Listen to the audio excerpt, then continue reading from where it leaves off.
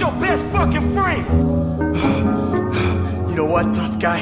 It's it's time you grow the fuck up. I, mean, I admit I'm a bad piece of work, but that guy, that piece of shit, never regretted nothing, cared for nothing. But fuck him.